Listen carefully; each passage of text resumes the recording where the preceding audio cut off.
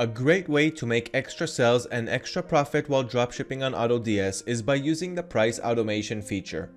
What this does is it increases the prices on products that are selling well so that you can profit more from them.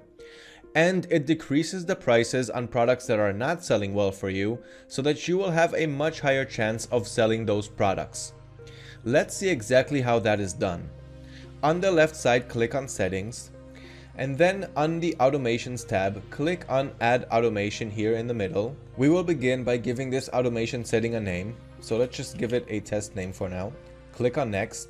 And now we will set the conditions to when we want the price to increase. So when the sales volume is higher than one sell per one day, which means if I'm selling this product more than one time per one day, then I want to raise the price by 1% up to a limit of 1%.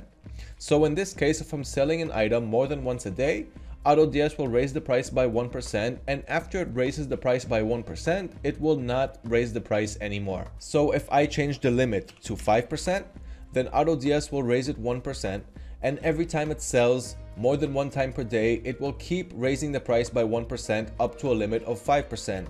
You can play around with these settings to however way you see fit for your products. Once you are done setting the price automation for increasing the price, click on next. And here we can do the same exact thing except for when the product is not selling. So in this case, when the sales volume is lower than one sale per day, then lower the price by 1% down to a limit of 1%. So for example, I can say, if I'm not selling a product more than one time every 10 days, then lower the price by 2% up to a limit of 10%. So every 10 days, AutoDS is going to lower the price for a product that is not selling at least once by 2% and after 10 days by another 2% and after 10 days by another 2% until it lowers the price to a limit of 10%. So once again, play around with these settings Make sure that you're setting a stop loss limit so that you won't lose any money by lowering the prices more and more. And once you are done with that, click on next. And here you can configure which products you want to assign all of these pricing automations that we just configured. You can set it on a specific product, on all of them, or you can add a filter to choose exactly which products you want to assign the price automation to. So there's a lot of flexibility when you are going about these features. Once you are done, click on finish and all of those products will have the price automation features that you have just configured.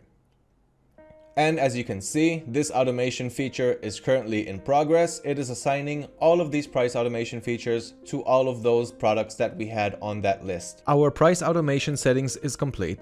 As you can see, we have the test price automation that we made over here, sales-based pricing with 860 variations assigned.